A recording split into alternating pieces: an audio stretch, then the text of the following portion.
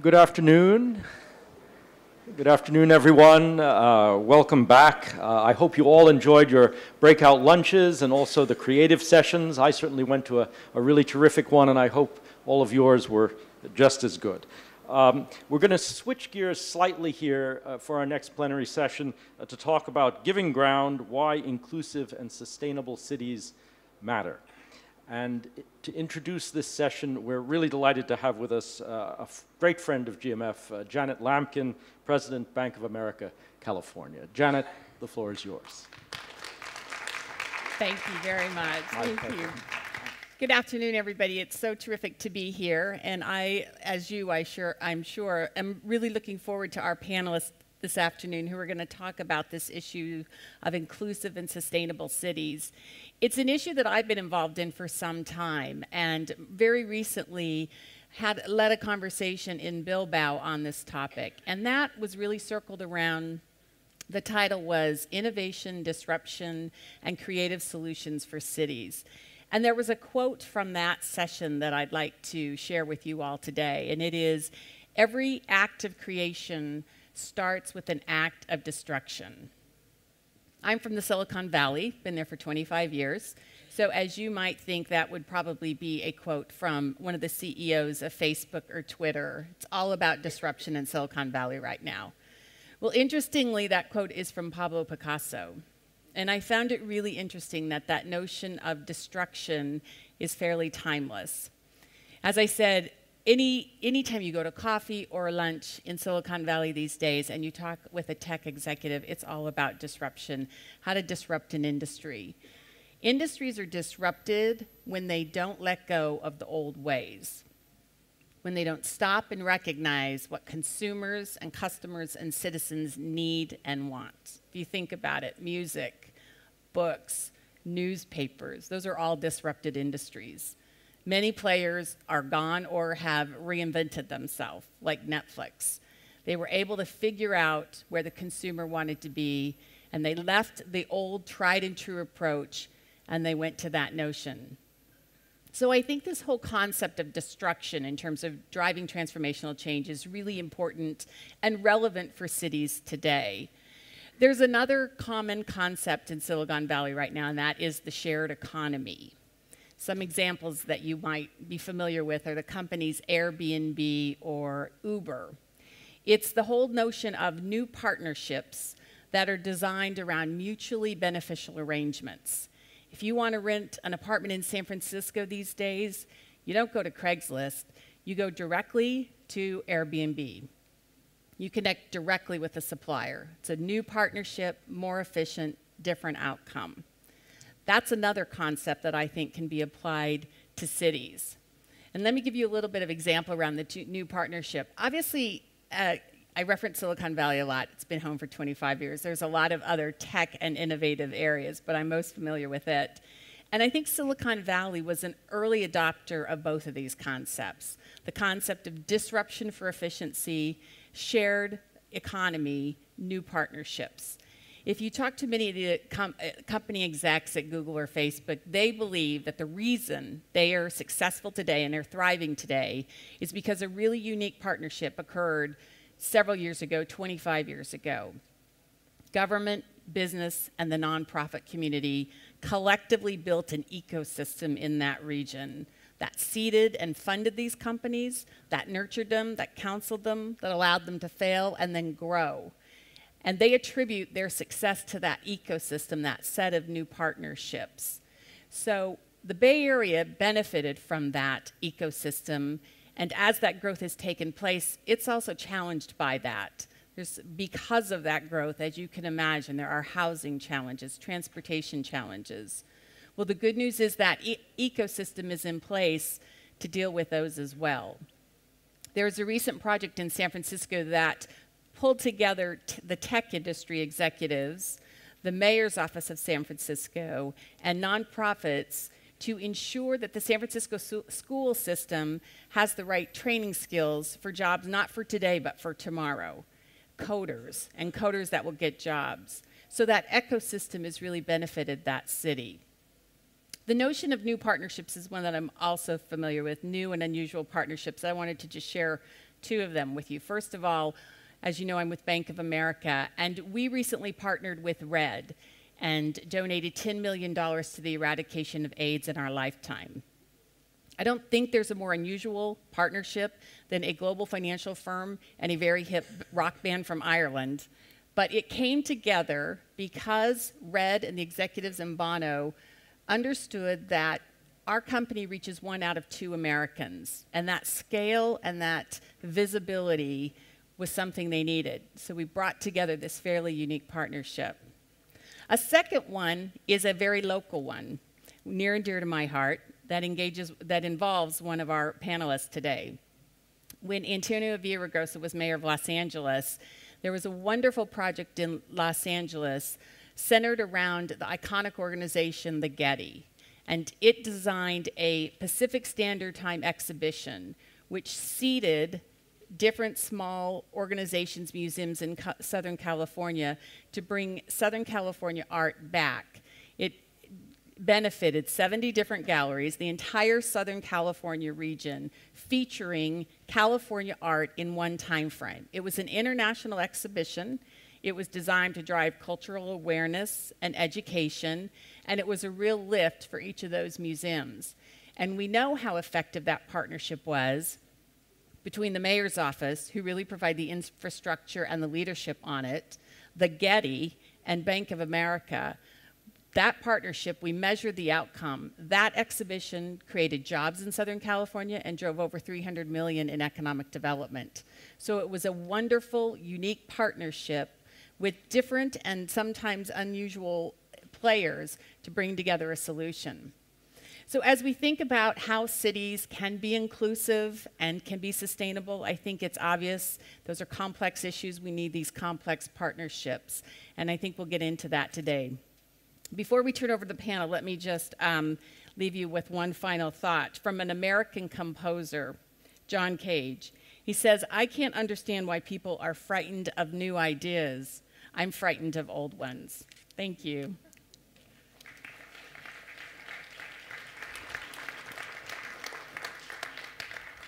Ladies and gentlemen, please welcome the editor of Monocle, Mr. Andrew Tuck. Thank you. Thank you. Um, I think everybody knows the format, and we're not going to shake it up here. We're going to begin with a, a, very short video, and then we'll be introducing the members of the panel with a couple of questions from me. But the success of this session is going to be down to you, so make sure you have plenty of questions because I think we're going to be covering some really hot topics for all cities at the moment.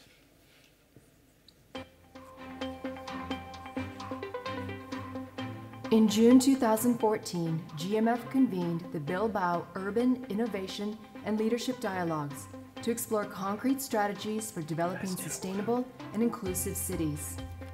By bringing this theme to Atlantic Dialogues, GMF seeks to expand the conversation to the wider Atlantic and reinforce the critical importance of an urban agenda that focuses as much on inclusive growth and shared prosperity as on sustainable development. What actions are local leaders taking to address the inequality of opportunity and encourage more inclusive growth? Are national governments and global institutions paying attention to local policy innovations? How are cities balancing bold vision and strategic partnerships with public participation and transparency. What are the risks if a sustainable and inclusive urban agenda is not a top priority for city leaders? Well, there's obviously some very good questions there. I'd just like to add a few to that list before we start. Uh, what happens if you don't have an inclusive bus service that people think they can afford? well, you can call the mayor of Rio and you can ask him. What happens if you have a city where nobody can afford anymore to buy a property? Because the property in that city has become a deposit for the money from Qatar, from Uzbekistan, come to my city, London, and see a generation of people who are in, in, in, in employment, who have good jobs, who literally have nowhere to live in the city. What happens even in, you know, we heard from Janet a great story about what's happening in Silicon Valley, but what happens when even people in San Francisco think, do you know what, this new tech generation is just another generation of wealthy people, and they start throwing bricks at the Google bus. These stories of inclusion are so important because unless we get them right, all of us face huge challenges around how our cities are run. So those are questions I'm hoping to kind of tease out from the panel. And I'll start with you, Mayor. Uh, you sit in a city which I'd like you to explain a little bit, a riddle about your city. You're from Moroccan descent, your family moved there in the 70s. But Rotterdam is also the home of Pim Fortuyn, of the far right movement of the Netherlands. How come these two unusual stories have come about? You know, Mr. Fortuyn um, told me once when I was leading a political debate in the uh, press center in The Hague, was really a long time ago, and said to me when we finished the, the debate, the moment a Muslim become a minister in this country, I will move. and it was the first one. and then, finally, he has, has been assassinated. And in the city where he founded his first political movement, I became the mayor. So it's fascinating how history can, can turn. I think um, um, um, I'm leading a city with 174 nationalities. 174. Uh, so I am a small Ban Ki moon. and keeping that together is a huge task. And I'm not doing that by uh, preaching harmony, but I'm really tough on my citizens because I require something from them. And, um, but also preach that peace and stability is really important. And I simply cannot accept that I get a city of 174 speeds. So, an integrated community, led by one mayor, forward towards a better future is really important. That's why when I became mayor in 2009, I said to my city council, whatever the politics here is, but to me as mayor, I will never allow somebody to sleep on the streets. In my city, nobody sleeps on the street. Either it's an asylum seeker or it's an illegal immigrant, whatever, but in my city, nobody sleeps on the street. You know, with this variety of political parties, to far left, to far right, there was an applaud for this idea in the city council because my citizens will be happy to be a city that is not divided by um, culture or religion, but to be bounded in one thing that will believe in a common future. We're going to be looking at how all sorts of institutions work together to get things done. Uh, and there's no better person to ask than Ana Marie. Ana Marie has sat on every side of the fence if there's more than two sides. I think on multiple sides of multiple arguments. She now finds herself running a huge part of the Ford Foundation. You've been in government, you've done sleeves rolled up grassroots work. Get things done, where do you find that easiest? Do you find it easier in the role you are now, where you don't have to answer to an electorate, and when you're not a corporate player either. You're not having to answer, in the end of the day, does this make a profit? It's never easy, but I think that you have to be listening, paying attention to where opportunities are moving to and where um, there's resources and an audience and traffic that is willing to work together. I think it takes multiple sectors and it takes an interdisciplinary approach to working together. And sometimes governments and private sector, uh, civil society are willing to do this, and sometimes the times um, make them be more complacent. I think um, that's one of the reasons why I went to work for the Obama administration in 2009 because of the global recession. I think um, all of these sectors and people on the streets were willing to look at um, things that they had been, done, been doing in same old thinking um, in new ways, and that was an opportunity.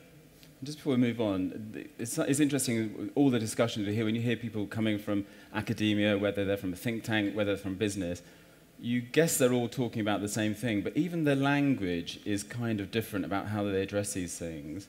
When you're trying to join those dots up, is that one of the challenges, trying to find a common language that the people coming from the corporate world, from government, from think tanks can all kind of agree on? You're not going to get a common language. I think we're all going to stick to our language very dearly.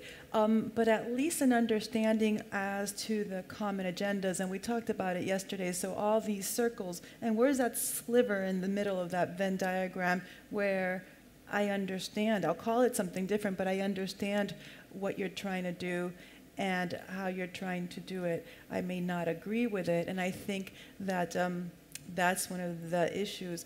Uh, for example, the Ford Foundation has been funding for the past 50 years the profession of planners. We've also been funding advocacy organizations. The same organization funding these two, what's now silos, tables of people that really want the same goal a community, a city that works for its residents, but um, not coming together um, and actually being very adversarial. So, how do you build that table in a different way? It's not going to have the same language, but you jump to the, the final outcome. Antonio, we've heard a snapshot there of what it's like running Rotterdam, some of the challenges. You ran Los Angeles for many years. That sense of inclusion, now let's be naive and let's ask you the questions from the outside. When we look from Europe at Los Angeles, we see in many American cities, we think a city that is divided very clearly between the haves and the have nots, between communi- communities that are still segregated by race and background. Is that true? Is that changing? And how much of a challenge was that for you on a day to day basis in Los Angeles? First of all, I want to thank our host, uh, the Atlantic Dialogues, uh, our two centers here who have come together and invited us. It's an honor to be here and to be here with friends and uh, esteemed colleagues. Uh, secondly, let me just say uh, I think it is uh, important that city leaders, and particularly global cities, are invited to events like this because so much of what happens, at least successfully around the world, is generated uh, by cities and, and particularly uh, large metropolitan global cities. Um, with respect to, to this notion of what people from the outside look at LA as, I'd say this LA is constantly changing uh, in many ways. Uh, this was a city that, when I grew up, was a city founded, as you all know, by Mexican settlers. A city that changed over time. Uh, they were never dominant in their numbers after about uh, 1870 or so. Uh, when I was born, it was a city roughly uh, 9% of the population was Latino. Today, nearly 50% is Latino, primarily of Mexican descent. 67% of the city, uh, two thirds, come from Latin America, Asia, and Africa. We don't have as many different nationalities, but we have a larger percentage of them, about 144 countries, a larger percentage of them that are a part of the city. So the notion, though, that LA is this stratified city, I would say this no more stratified uh, than New York or Chicago or Houston or Miami. Um, certainly a city that struggles, uh, as much of America does, with the haves and the have nots. Uh, and as mayor, I focused a lot uh, on the investments that I thought were important uh, to change that. So it began with education. Uh, I didn't have uh, oversight over the schools, uh, but I tried through the legislature to have that because about 40% of our kids were graduating from urban schools, and today about 70% are graduating, in no small part because we made that issue critical. Nothing brag home to mom about. It should be 100%, and they should be going to college or getting a job skill. But we focused a lot on that. We focused on uh, public safety uh, as well because crime happens primarily in the areas, the poorer areas. Uh, we halved uh, the, um, the crime rate, the violent crime rate. LA and New York now are the two safest big cities in America. Not as safe as Rotterdam or cities like that, but certainly more safe than we were 20 and 30 But, years but ago. But was that question of inclusion, is that the top of the list for you on Yes. a day to day basis? It was me, in no small part because I came from the other side of the tracks, uh, because I grew up poor, because I understood, as I've said many times, that the role of the first is not to pound on your chest and say how great I am. The role of the first is, uh, is to open up the door for the rest. So I did focus a lot on that. Um, I'm not saying that everybody uh, before me or afterwards uh, maybe focused on it the way that I did, but I certainly understood how important it was to our city. Let's bring um, you back in, Mr. Mayor. We spoke earlier, and you said something that I found interesting and a little bit surprising. We when, often, when we sit here in Europe or in Africa, and we think about the job of inclusion in cities, maybe being kind of a little bit kind of too liberal sometimes. We think of it as a one-way journey. We think that the people who sit in those European cities aren't doing enough to adapt to the migrant communities.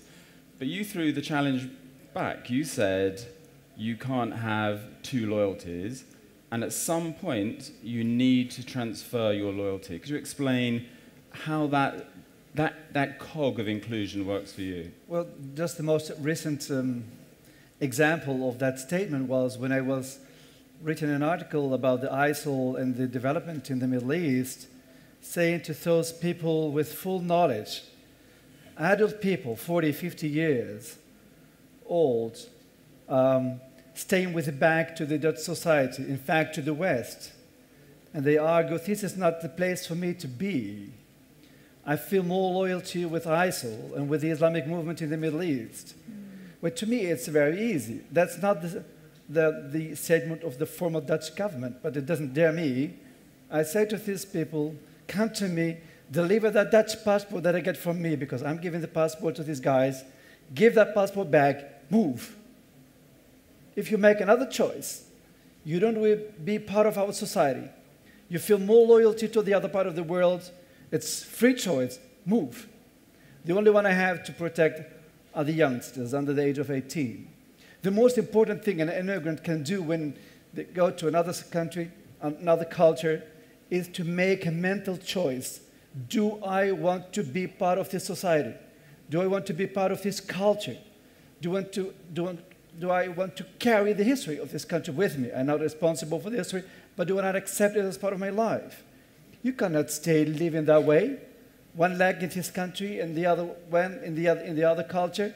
Nobody can survive that. So make a mental choice, knowing that all immigrants start from the very zero, from scratch, building up their own future. And yes, they pay sacrifices. So did I. My father, all, all the other immigrants, they did. The former people go to Los Angeles. They, they sacrificed too. But that pays at the end. My father, who was, um, I was happy yesterday um, in my role as mayor to marry my sister. um, so he had two, three personalities in his front. His daughter, uh, a doctor, his older son, a mayor, and the other, the other one, a CFO of Shell in the Middle East. Um, but he started from zero, and his life is still zero, but he sacrificed for us because he made the, choice this is my country. And I think it's really important um, to have that. That's why when I say that I'm, I'm tough for the immigrants myself, because I want to tell them this story. Um, grab all the chances you can get as a society and try to be part of it. On the other hand, you can never merge into traffic if nobody allows you to merge. So this majority society must make space in a reasonable way. So to me as mayor, I don't have one message. I have a lot of messages, the one for this group and the other one for the other group. And it's important to create a sentiment of understanding of each other, not necessarily to become friends, but at least to understand each other. I want to ask people about some concrete examples of their work so we, get, we really get to understand what they do on a day to day basis so we can quiz them even better later on. But just before we do that, again, we had a conversation last night, and you were saying you come from a background of migrants as well. You're Cuban American, you're Puerto Rican American. Just quickly, before I quiz you on the concrete examples, how do you feel about that notion of a two way deal between the migrant and the community that they move to? I agree and I disagree. Yes, we all come to this country or whatever country you're coming to with nothing. In our case, we just came with one duffel bag. Um, but we had what we, we had an education. So we had a head start because even though you have nothing, at least nobody can take away what's in your in your head, in your mind, your education. And so that gives you a big um, advantage uh, even if you have nothing else. So, and there's a lot of institutional barriers that in many systems in many communities that you don't see and you can't really put your finger on, um, but they're there. And um, actually, it was in the US, some people think that it was possibly easier uh, when things were much more obvious because at least then you could litigate. Nowadays, you can't really just sort of have a feeling that something's wrong, but you can't um, pinpoint it, and that's much harder. So. Okay, I'm, we're going to completely jump track now because there's so many points to get in.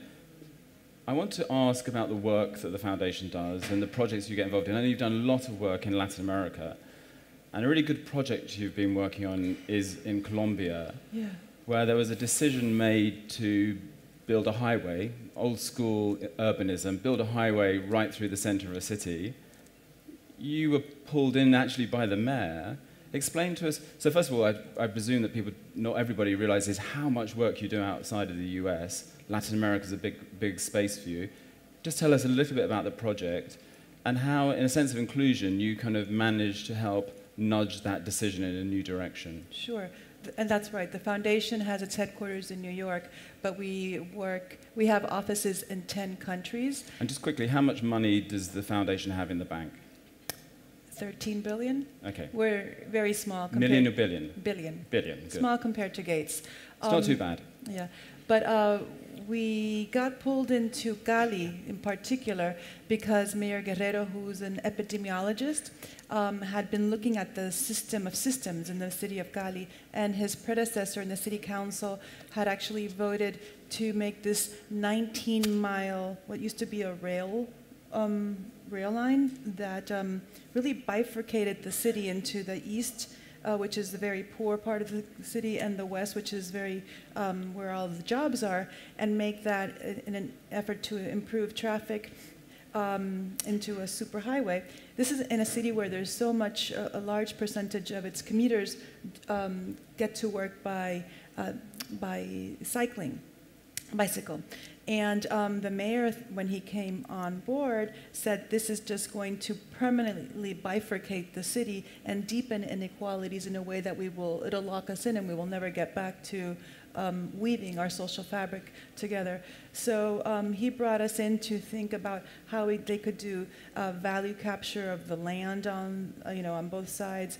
And now what's happening is it's going to be converted into 19 kilometers of uh, a green space, a linear park where it'll be BRT, bus rapid transit, um, which has not existed in, in Cali before, and uh, walking and cycling paths. They're going to be putting, uh, where it's, it's pretty much abandoned space right now, they're going to be putting uh, retail, and with the land from that, then they're going to be putting housing, and we hope it'll be the first experiment in mixed use, mixed income, and some rental. Um, uh, typologies of housing, which has, is very infrequent in Latin America. So it's very exciting because it promises to be the potential to be a pilot that can be looked at in, other places and maybe inspire some other work. Now, I like best practices, so I just say inspire. we'll come look.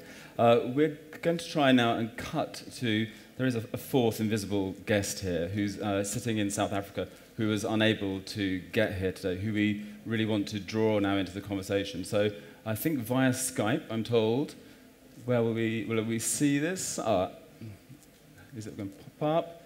Uh, but this is uh, Bulelwa Ngewana, who's the Chief Executive Officer of the Cape Town Partnership. And there we have you.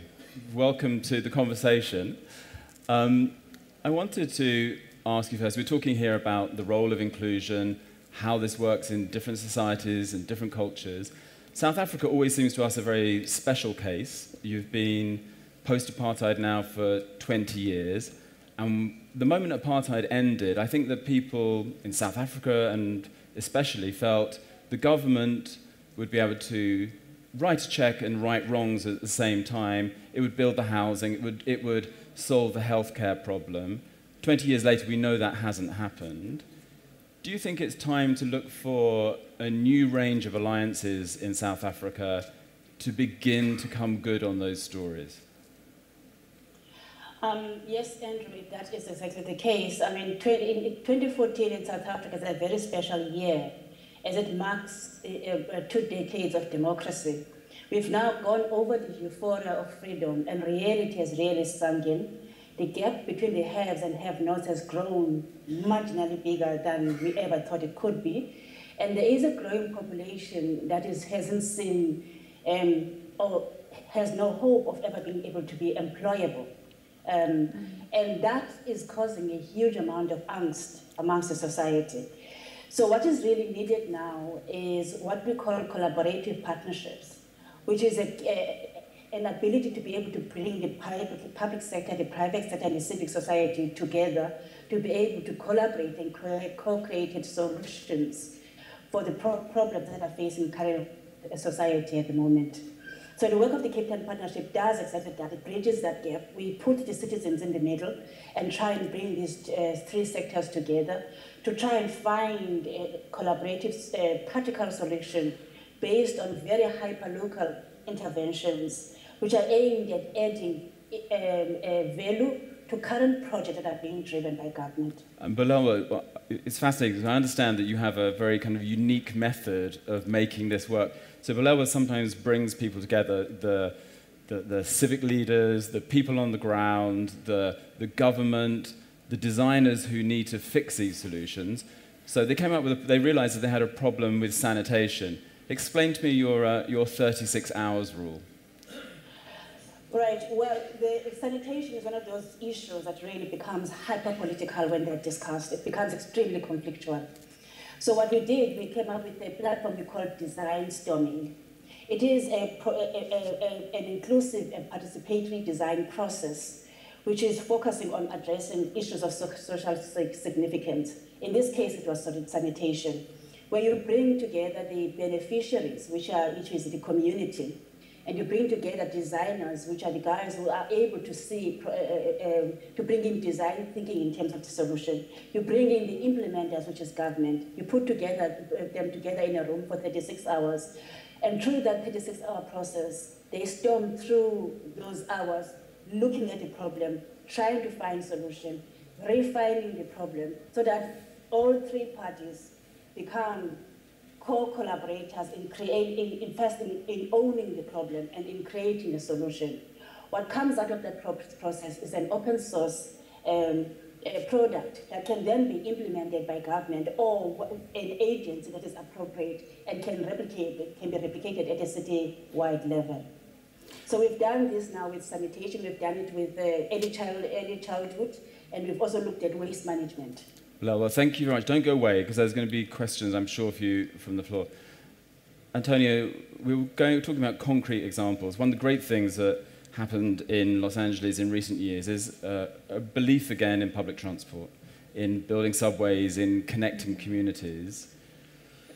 Is this, of course, it's good for people to get around a city, but how does this chime with the story of inclusion? Well, when you think of sprawl, and the urban planners in the room know that uh, LA is the quintessential city of sprawl. It's where it all began. Uh, we have the job, the housing in the outer perimeter. And when I say outer perimeter, I mean 60, 90, even 120 miles away. And the jobs in the inner core, downtown, and in the central core. And one of the things I said uh, when I became mayor was that we were going to have to rethink what LA looks like, uh, that we were going to have to uh, build uh, more density.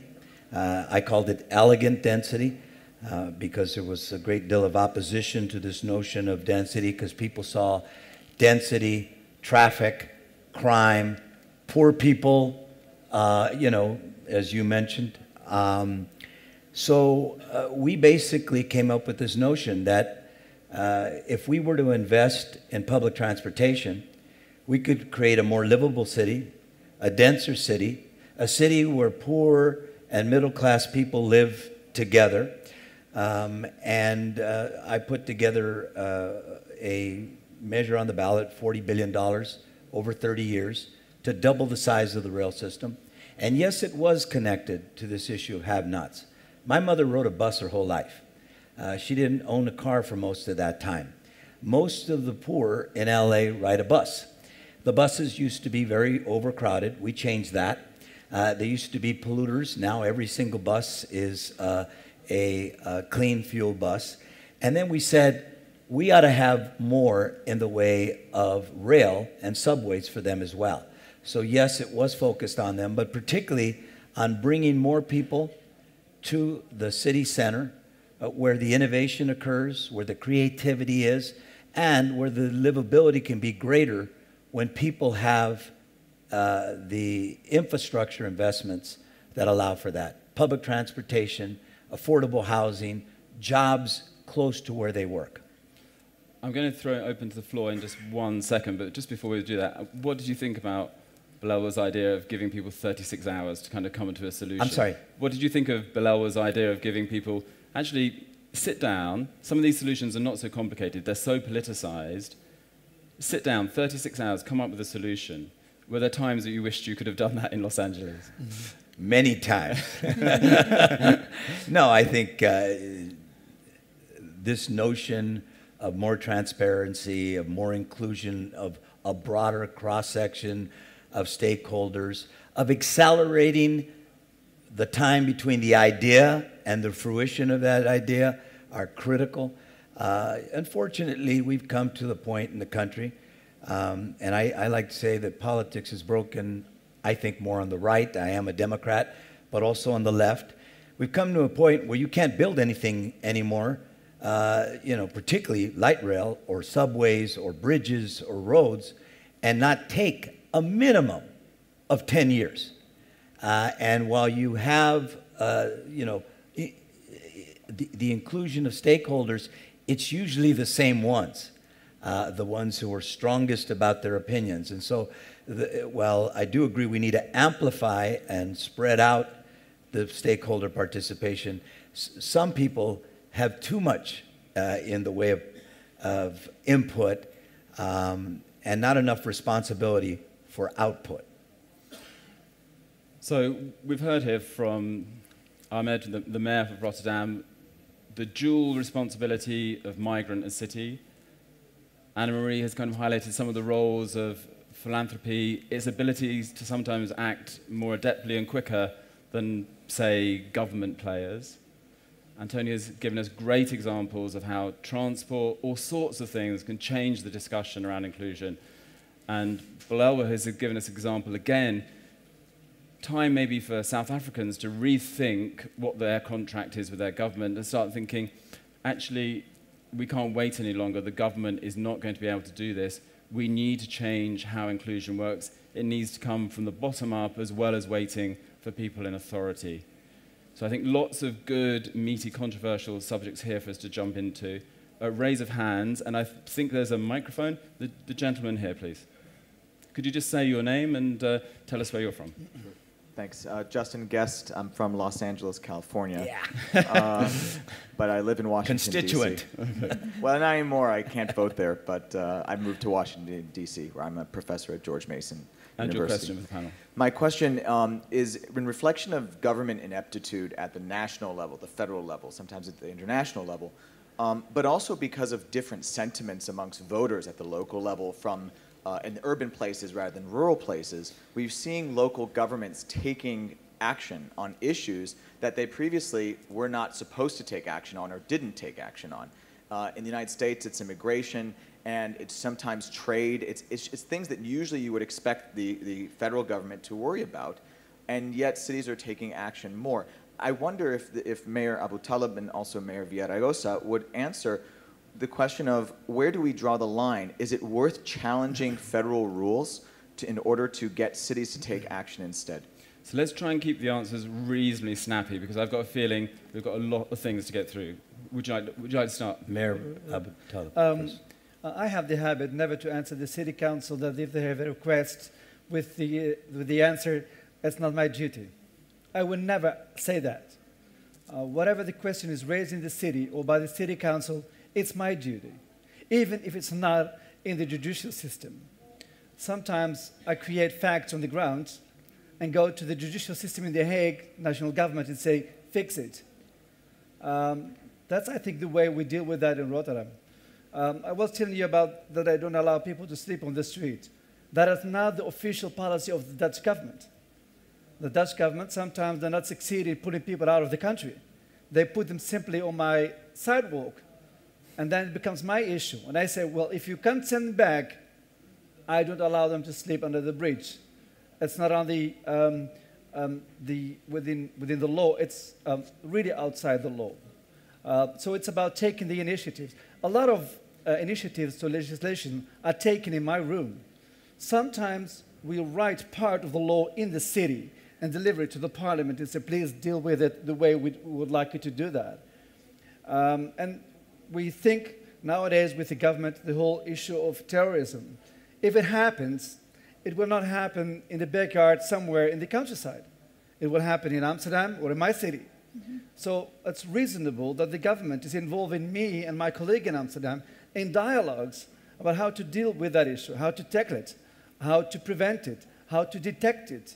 So it's really a, a kind of a cooperation between the Dutch um, national system and the big cities to make um, um, um uh, a common policy. And we have a tradition in that. And sometimes, really, cities force that the national government and the parliament are dealing with issues which were not there an, um, um, a week ago. As soon as we put them on the table and we communicate them as urgent, there will be debate about that in parliament, and then it becomes an issue for the government. And, the, and a perspective from Justin's home city, Los Angeles? Yeah, I'd say a number of areas, but you want to, I want to keep it short, so I'll, I'll say two. One is immigration. We see uh, LA uh, as benefiting from its diversity and from Im- immigration. So, as an example, uh, we led the fight for, to provide driver's licenses for the undocumented, led the fight uh, to not cooperate with the federal government when they would arrest people uh, simply because they were there illegally and, and, deport them. And we said, no, uh, these people have children here, they're working here, they're bringing value here. We embrace them. Uh, we, uh, on the issue of uh, trade, tourism, and foreign direct investment, you know, geopolitically in the United States, there's this notion that China is a threat.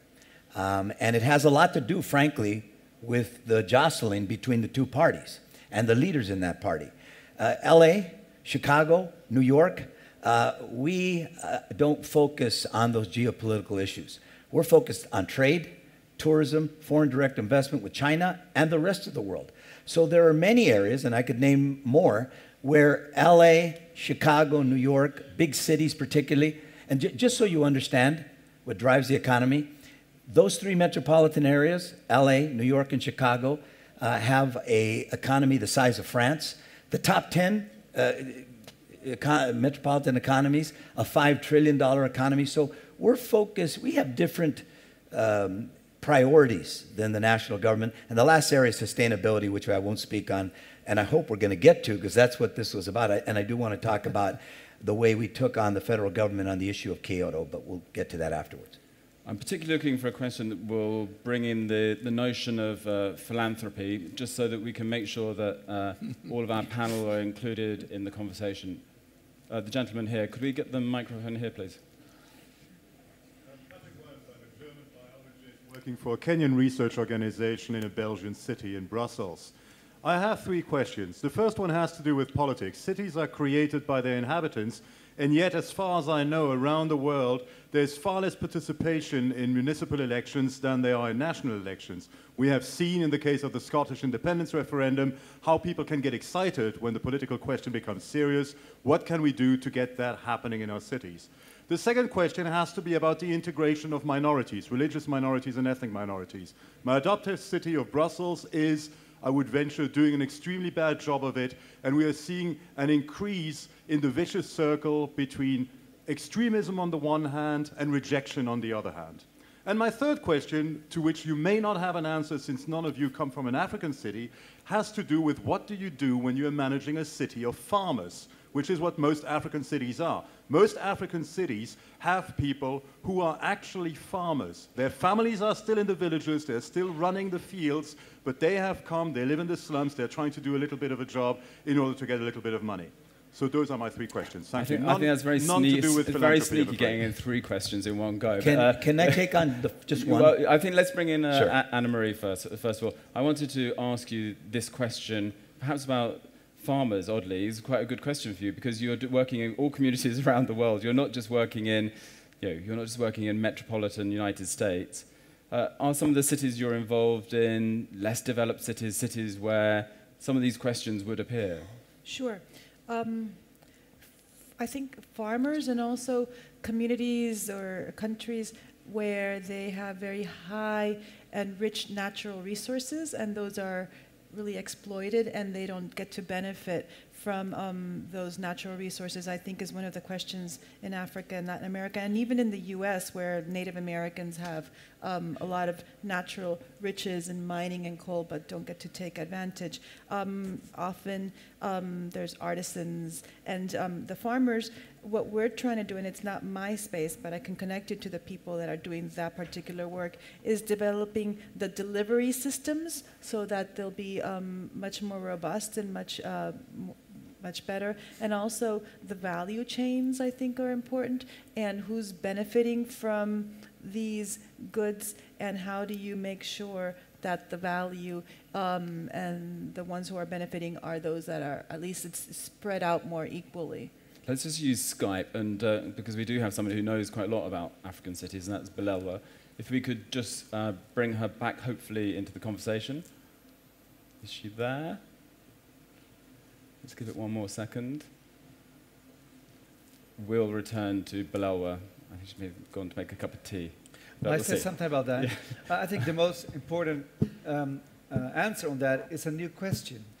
Why are these farmers moving towards cities knowing that they will live in very bad circumstances?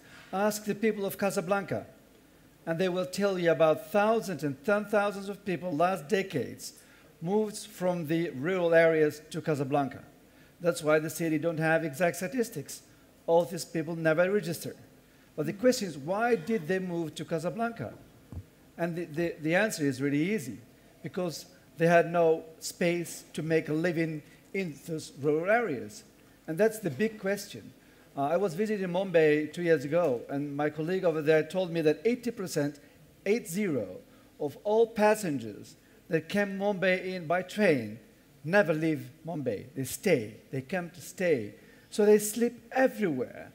If somebody from you have been walking down Mumbai, they sleep really everywhere.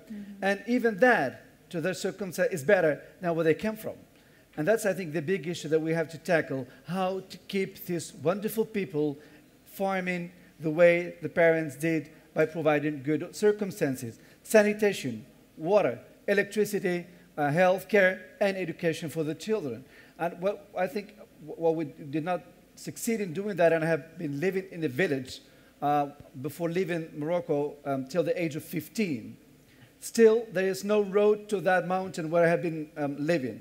I have been walking seven hours in the morning, seven kilometers down the hill to go to school, and seven kilometers going up the hill at the end of the day. And if, if, if it was rain, mud until here. So the circumstances were not that good. Fortunately, I became mayor, and, a um, and a friend of mine became even a, a doctor from that little school over there. But the circumstances in those villages are not suitable to stay there. And I think that's the issue we have to tackle, not the fact that they are in the cities. I'm going to I uh, just very quickly because uh, there's so many more people with arms. One of the dying problems is that we have rural and we have urban, and the people who are looking at these economies are like almost even pitting them against each other. And we don't have planners and people that are thinking about their regions. And you need to think about the interdependence and how they work together. And I think that that is uh, when where you see regions that are doing this, they can take advantage. Let's take one more question, and the, the lady here with the already has the microphone ready. Could you just say where you're from, please? I've also got three questions. No, I think No, we no, have to we should do one. whittle it down. Let's do let's do one, please. Three very quick ones. First of all, to Anna Maria. Sorry about this. I'm Pr- Sylvia Chant, Professor of Development Geography at the LSE and Director of the MSc in Urbanisation and Development. I was very intrigued by what Anna Maria said about um, uh, Cali being an experiment because we know that Colombia is a country replete with visionary mayors. We think about Peñalosa and Antanas Mocas in Bogota, and we think about Sergio Fajardo in Medellin. And I just wondered to what extent you were actually using local practice to inform your interventions. A second issue, very, very quickly, is that we know that cities are great generators of wealth and they can be great generators of inclusion. Uh, however, all the UN Habitat evidence, uh, as robust as it might or might not be, suggests that as cities grow and as they create greater shares of GDP, um, uh, basically inequality is growing as measured by Gini coefficient, as measured by the um, City Prosperity Index. Um, so what can we do to try and stop that inequality growing? And I think the third question is, we've talked about inclusion, and we've talked about it particularly in relation to global cities with large um, populations of ethnic and migrant minorities. What about gender?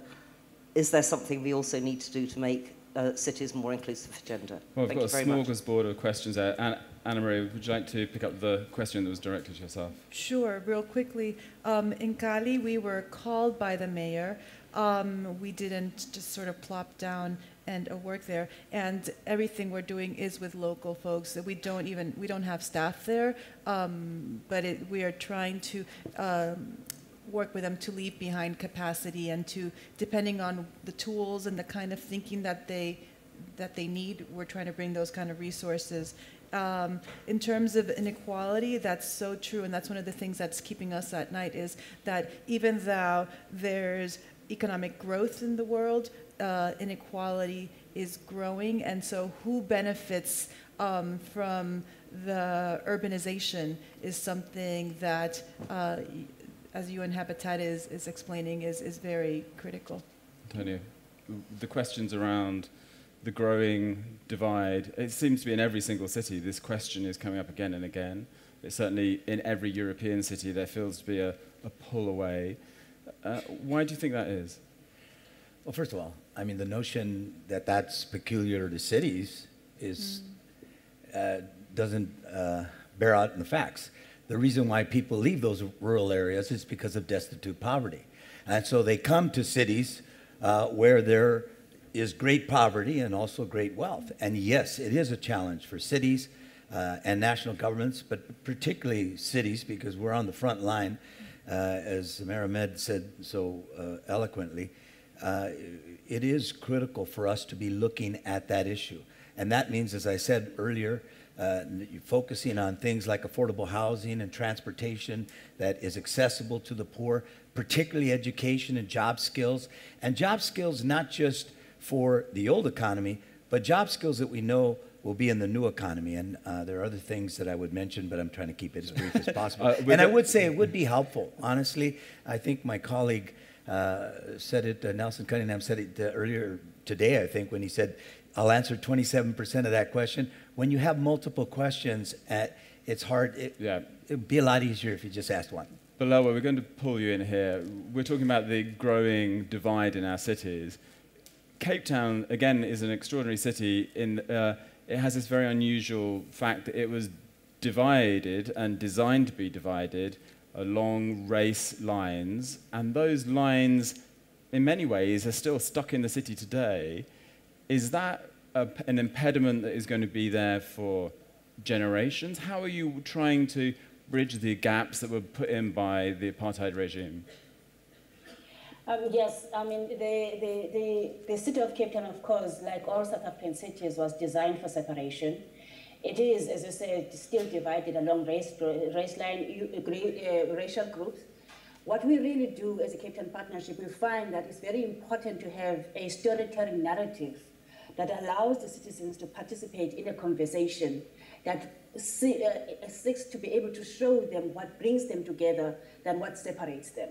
So, for example, as a Cape Town partnership, yes. we have a project which we call uh, MOLO, which is a publication of, uh, which is produced by the Cape Town Partnership, but it's a storytelling narrative of Cape Townians who talk about their love of the city from their perspective as Cape Townians, amongst all sorts of other uh, uh, divisions. So, for example, you can have a very, very benign topic such as food.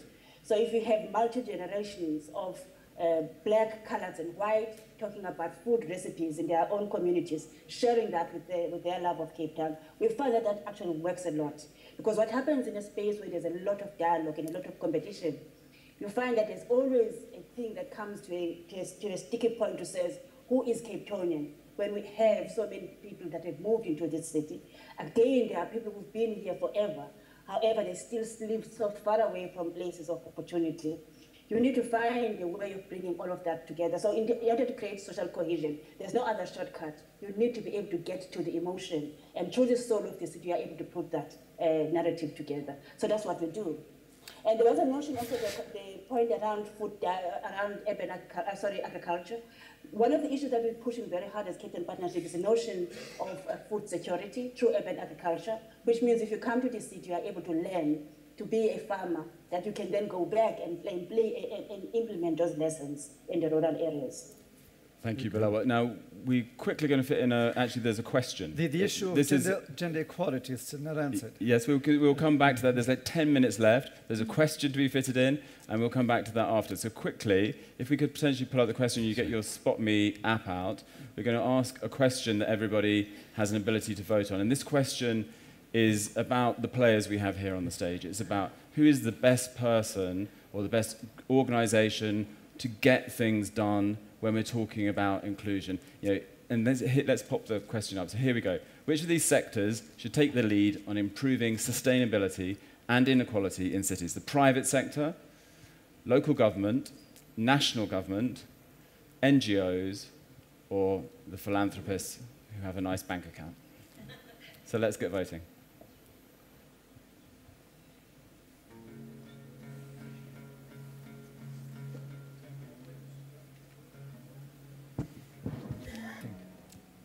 Say? Me?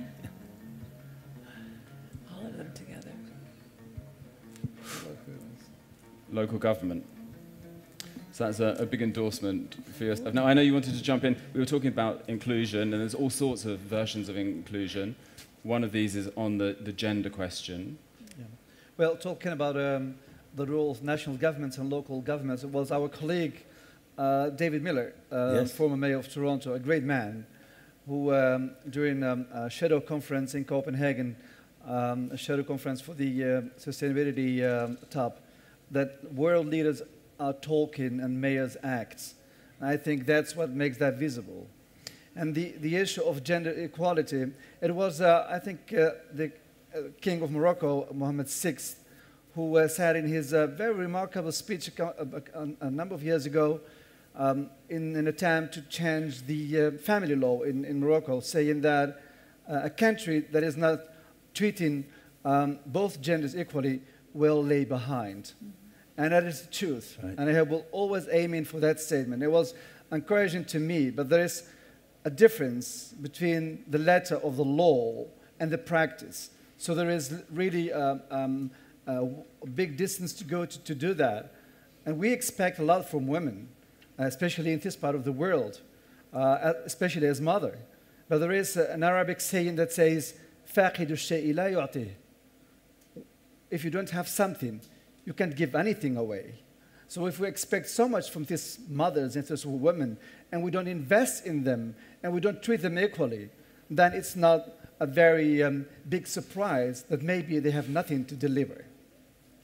I know there's a sense of frustration because there's so many more questions it would be great to take, but I know that people would also like to get out and have a drink as well. We have five minutes left, and I thought that I'd allow the panel to touch on this quickly on this question of sustainability and inclusion, just to give us their summary, their kind of key point that they think we should all be addressing. Perhaps from a, a Los Angeles perspective, what would, you- what would be your key message that people in this room should take away? Well, first of all, I also want to address the issue of gender uh, equity. Uh, for the 20 years I was Speaker of the Assembly, Mayor, and Assembly member, the vast majority of that time, my Chief of Staff was women. More than 50% of my senior leaders were women. All my, more than 50% of my commissioners. And it wasn't just a goal to, for equity sakes, it's because they were the most talented people in the room. Uh, so I, I, do think that that's an important issue, and I agree with the mayor uh, that the key to great societies is how we include all of us, but particularly women. You know, I, I would say the issue, uh, I'm going to hit on the same issue that Mayor mentioned a few minutes ago. When we were in Copenhagen, the national leaders were all elbowing each other to see who could get out of the room faster, pointing fingers at one another, blaming each other on the state of the world today in terms of climate change we were holding hands with one another, working together, adopting each other's best practices. In the United States, although the United States government never signed on to Kyoto, 1,300 cities did.